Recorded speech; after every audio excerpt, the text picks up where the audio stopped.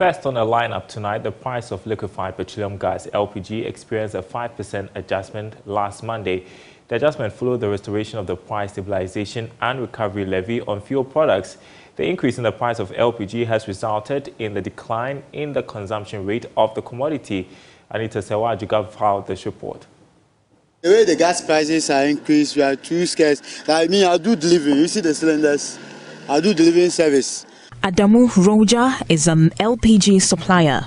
He used to deliver 40 cylinders daily, but that has changed because the purchase of the commodity has declined. This, according to him, is affecting his business.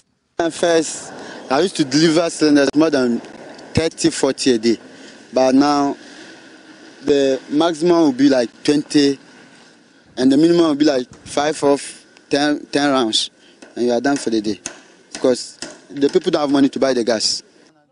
Roger says the low patronage will affect his salary and ability to take care of his dependents. The first, they, they, they pay me according to my work. So if I don't get more customers, I don't get much money. Losing customers seriously because of the increment of the prices.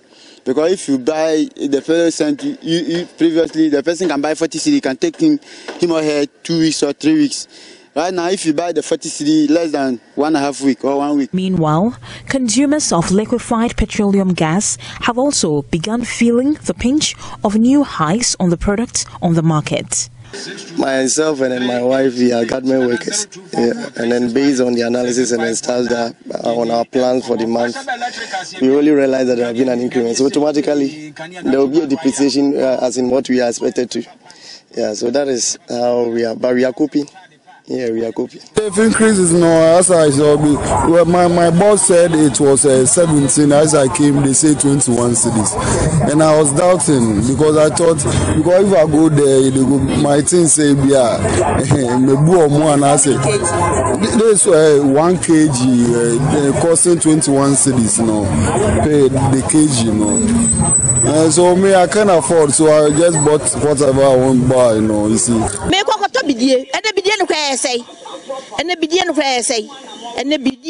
I'm switching to charcoal. Even the charcoal is expensive.